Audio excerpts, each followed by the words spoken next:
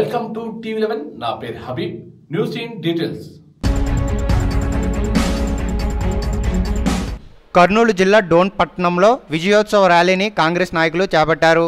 పూర్తిస్థాయి మెజారిటీ లేకపోయినా కర్ణాటకలోని బీజేపీ ప్రభుత్వం ఏర్పాటు చేయాలని గవర్నర్ తీసుకున్న నిర్ణయాన్ని తప్పుబట్టి కాంగ్రెస్ పార్టీ జేడీఎస్లకు అవకాశం కలిగేలా చేసిన సుప్రీంకోర్టు నిర్ణయాన్ని అభినందిస్తూ ప్రభుత్వం ఏర్పాటు చేయనున్న సందర్భంగా జిల్లా డీసీసీ లక్కసాగరం లక్ష్మారెడ్డి ఆధ్వర్యంలో విజయోత్సవ ర్యాలీని డోన్పట్నంలో నిర్వహించారు.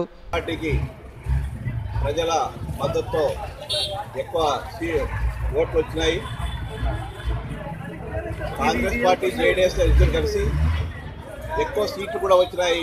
మేము ప్రభుత్వం ఏర్పాటు చేస్తామని చెప్పి గవర్నర్ అడిగితే గవర్నర్ అప్రసావజామికంగా భారతీయ జనతా పార్టీ వాళ్ళకి అవకాశం ఇవ్వడం జరిగింది. దీని విషయంలో కాంగ్రెస్ పార్టీ జేడీఎస్ ఇద్దరు కలిసి సుప్రీంకోర్టును ఆశ్రయించి నిజమైన ప్రజాస్వామ్యం బ్రతుకుండాలా అనే ఉద్దేశంతో ఆ ప్రయత్నం చేస్తే నిజంగా సుప్రీంకోర్టుని అభినందించాల్సిన అవసరం ఉంది. సరైన నిర్ణయం తీసుకొని ప్రజాస్వామ్యం కూలి కాకుండా కాపాడడం జరిగింది. కాంగ్రెస్ పార్టీ ఈ దేశానికి స్వాతంత్రం వచ్చినప్పటి నుంచి ఏర్పరిచినటువంటి వ్యవస్థలన్నీ సక్రమంగా పనిచేస్తే ఏ విధంగా న్యాయం బతుకుంటారో అని చెప్పి ఇది ఇదే ఒకటే నిదర్శనం. ఇదే వ్యవస్థలన్నింటినీ కుప్పగొల్చి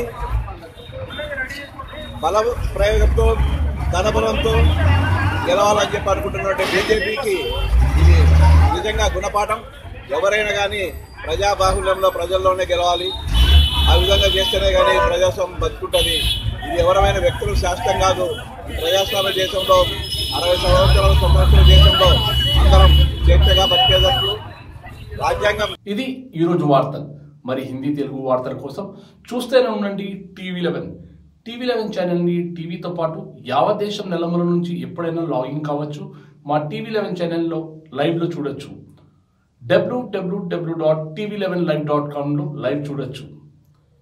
ఇది ఈరోజు వార్తలు. మిగతా వార్తల కోసం చూస్తూనే ఉండండి టీవీ లెవెన్.